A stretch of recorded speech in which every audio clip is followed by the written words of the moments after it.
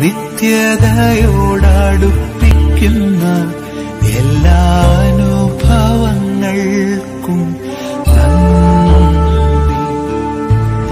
എന്നെ നല്ല ശിഷ്യനാക്കിയിടുന്ന എല്ലാ കുരിശുകൾക്കും നാഥാനന്ദി എല്ലാ തോൽവികൾ